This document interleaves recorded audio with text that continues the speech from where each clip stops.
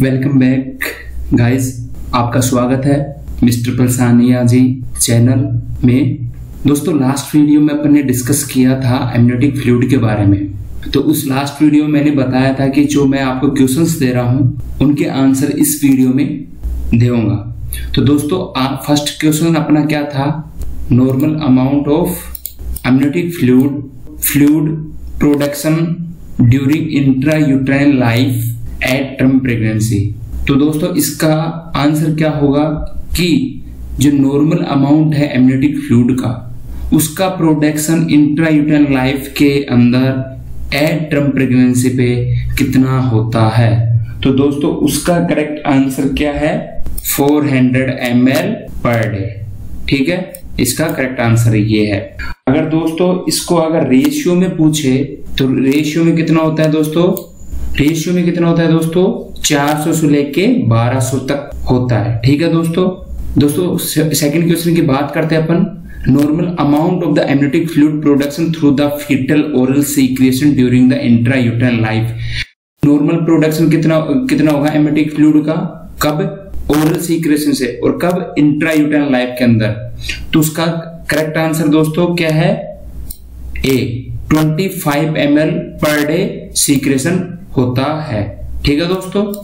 Next बात करते हैं अपन दोस्तों। थर्ड क्वेश्चन क्या है अपना? Amount of the amniotic fluid production through the fetal nature secretion during the intrauterine life I ठीक है? तो इंट्रायूटाइन लाइफ में फिटल नेचर सीक्रेशन से कितना अमाउंट सीक्रेट होगा? किसका? एफ़ का। एमनेटिक फ्लूड का। ठीक है? तो उसका करेक्ट आंसर दोस्तों डी है। कितना होता है? 170 ml पर डे होता है। ठीक है दोस्तों? नेक्स्ट क्वेश्चन की बात करें अपन। फोर्थ क्वेश्चन क्या है दोस्तों? Normal total amniotic fluids swallow by the fetus at term pregnancy पे। स्वेलो कितना करता है एट ट्रम प्रेगनेंसी के, के अंदर? फीटस कितना करता है? दोस्तों अपना आंसर है 200 टू 500 ml पर डे 200 से लेके 500 एम अगर दोस्तों यहीं पे आपसे पूछा जाए कि इन रेशियो रेशियो के अंदर कितना फ्लूड लेता है फीटस एट्रम प्रेगनेंसी पे। तो वो कितना होगा दोस्तों रेशियो के अंदर? 500 ml होगा। ध्यान दीजिएगा। कितना? अप्रोक्सली कितना होगा? 500 ml ठीक है दोस्तों? लास्ट क्वेश्चन इसमें था दोस्तों। Which of the following electrolyte increase level in amniotic fluid during the intrauterine life fetal bacterial infection fetal bacterial infection के अंदर इलेक्ट्रोलाइटिक कौन सा इंक्रीज होगा? एमनेटिक फ्लूड की। फ्लूड की बात करें तो उसके अंदर कौन सा होगा? एमनेटिक फ्लूड में डी आंसर अपना है पोस्फोरस पोस्फोरस से क्या होगा? इंक्रीज होगा। तो ये तो अपने दोस्तों, क्या था? जो क्वेश्चन थे, उनका मैंने आंसर बताया है दोस्तों। अब दोस्तों लास्ट टॉपिक में अपने कलर कलर के बारे में अपन डिस्कशन नहीं किए थे तो इस वीडियो में अपन डिस्कस करेंगे। तो दोस्तों वीडियो को कंप्लीट देखना। ठीक है दोस्तों? कलर ऑफ़ एमनेटिक फ्लूड तो इसमें बेसिकली नॉर्मल और एबनॉर्मल कलर की बात करेंगे अपन। तो दोस्तों नॉर्मल कलर की बात करें तो कलरलेस एमनेटिक फ्लूड होता है। लेकिन अगर मैं इसमें ये चीज़ जोड़ देता हूँ colourless with the little white speck यहाँ पे समझने की कोशिश करना, इसके अंदर, कई एग्ज़ाम्स के अंदर बोला गया है ऑप्शन में आया है, आपने देखा होगा कि कलरलेस एमनेटिक फ्लूड की बजाय वहाँ पे आया होगा colourless with little white speck तो ये इसका दूसरा नाम हो सकता, बोल सकते हो आप? और दोस्तों, ये भी करेक्ट है। कई एग्ज़ाम्स के अंदर देखा होगा आपने। वहाँ पे ऑप्शन के अंदर कलरलेस नहीं होगा। लेकिन वहाँ पे ऑप्शन में अगर आपको दे कि ऐसे क्वेश्चन आए कि what is the normal colour of the amniotic fluid तो ऑप्शन के अंदर कलरलेस एमनेटिक फ्लूड ना दे के colourless with the little white speck दे तो ये करेक्ट आंसर होगा। ठीक है दोस्तों, अगर बात करते हैं अपन colour colour of the amniotic fluid at term pregnancy at term pregnancy पे कलर कैसा होगा दोस्तों? पेल स्ट्रॉ कलर ठीक है? कौन सा? Pale straw colour okay next दोस्तों, इस पे एक डेली एम्स के अंदर ऐसा ही कुछ क्वेश्चन आया था प्रैक्टिस पेज का, जो मैं आपको बता रहा हूँ। दोस्तों क्वेश्चन क्या कह रहा है? ये सुनिए। A pregnant woman admitted in the labour room with complain of the labour pain ठीक है? एक प्रेग्नेंट वुमन है वो एडमिट होती है कहा? लेबर रूम के अंदर। और उसके कंप्लेन क्या थे या कंप्लेन क्या थी उसकी? लेबर पेन हो रहे हैं। ठीक है? Nurse is monitored cervical dilation is eight centimetre nurse वहाँ पे मॉनिटर करेगी तो सर्वाइकल डायलेशन कितना होगा कितना देखने को मिलता है वहाँ पे? आठ सेंटीमीटर ठीक है? नॉर्मल सर्वाइकल डायलेशन कितना होता है दोस्तों? Ten centimetre. और यहाँ पे नर्स कितना देख रही है? आठ सेंटीमीटर, ठीक है? Which of the following colour of the amniotic fluid monitor by the during N N R O M अब दोस्तों एन आर ओ एम क्या है? Normal rupture of the membrane और यहाँ पे आंसर क्या आएगा? पेल स्टोर कलर अब दोस्तों, इसके अंदर अगर आप बात करते हैं कि एट्रम प्रेगनेंसी पे पेल स्टोकलर ही क्यों होता है? तो वहाँ पे दोस्तों अपन अगर एक्सप्लेनेशन या रीजन की बात करें तो क्यों होता है? मैंने लास्ट वीडियो में कंपोजिशन के अंदर बताया था कि जो लेग्यू है, वो किसमें सेड ऑफ़ हो जाता है? एमिटिव फ्लूड में सेट ऑफ़ होकर मिक्स हो जाता है। ठीक है?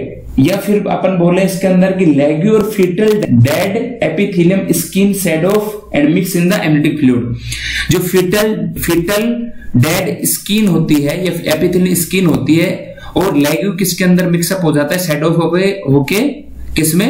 एमिटिव फ्लूड में। उसकी वजह से पेल स्टोक कलर शो होता है। ओके दोस्तों? दोस्तों, अब बात करते हैं अपन abnormal colour of the amniotic fluid तो दोस्तों, इसके अंदर एमनेटिक एमनेटिक फ्लूड की बात करें एबनॉर्मल कलर कौन कौन से देखने को मिलते हैं अपन को? तो फ़र्स्ट अपना है ग्रीन मैक्नियम स्टेन कलर और इसी को अपन क्या बोल सकते हैं? डार्क ग्रीन कलर ठीक है?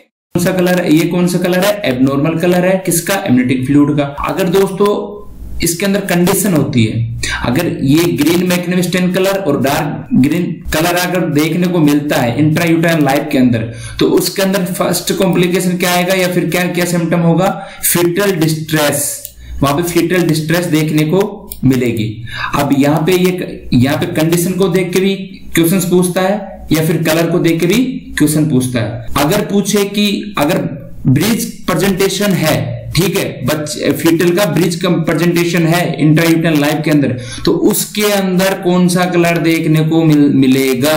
तो अपना आंसर क्या होगा?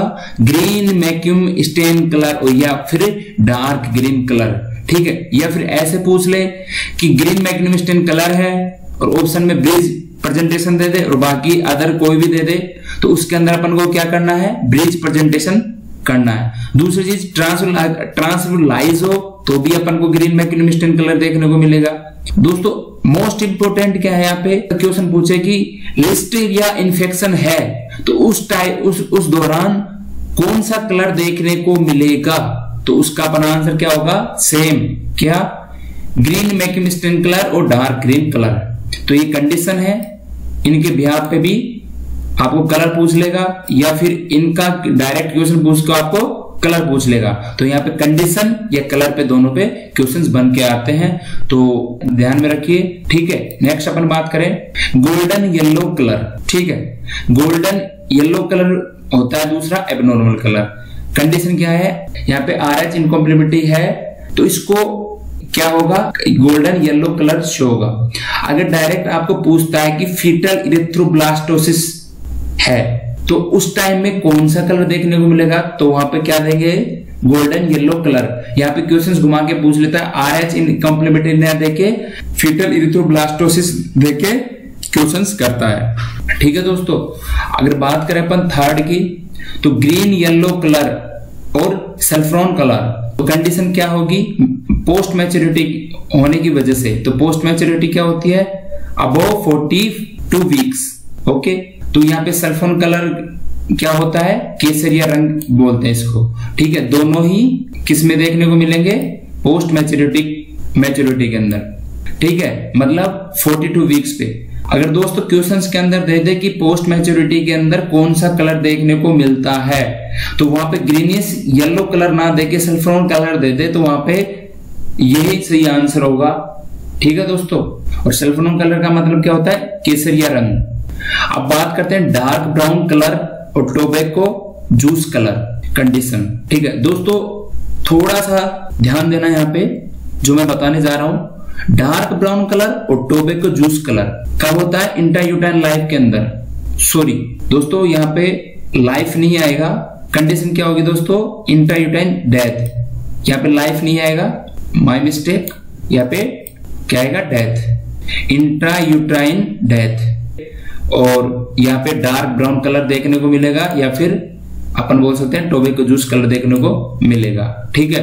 अब दोस्तों डार्क कलर आता है फिफ्थ वाला एबनोरल कलर तो इसके अंदर कंडीशन क्या होगी दोस्तों? इंट्रा यूट्राइन हेमरेज देखने की, होने की वजह से डार्क कलर देखने को मिलेगा, ठीक है दोस्तों? दोस्तों, बात करते हैं प्रिवलेंट कलर की। तो यहाँ पे प्रिवलेंट का मतलब पस का पस पस होना, पस का फॉर्मेशन ठीक है? और कोरियो तो दोस्तों, मैंने फ़र्स्ट में बताया था कि एम्यूनिटिक कैविटी होती है, उसकी दो लेयर होती है कोरियन एम्यून उनके अंदर इन्फ्लामेशन होना, ठीक है दोस्तों? और क्लाउडली कलर तो intra uterine infection cloudy colour कब देखने को मिलेगा इम्यूनिटी फ्लूड के अंदर फ्लूड का? कब? जब इंट्रा यूट्राइन लाइफ के अंदर इन्फेक्शन हो। तब अपन को क्लाउडली कलर देखने को मिलेगा। दोस्तों, यहाँ पे अपना टॉपिक कंप्लीट होता है एम्यूनिटी फ्लूड का। होप करता हूँ आपको टॉपिक समझ में आया होगा। दोस्तों नेक्स्ट वीडियो में अपन बात करेंगे जो इंपोर्टेंट क्वेश्चंस वगैरह हैं, उनके उनके बारे में डिस्कस करेंगे। या फिर आप मेरे को कमेंट बॉक्स में बता दिए जो बताइए कि आपको कौन से टॉपिक पे वीडियो चाहिए, मैं आपको दूँगा और दोस्तों, अभी तक आपने सब्सक्राइब नहीं किया तो सब्सक्राइब कीजिए।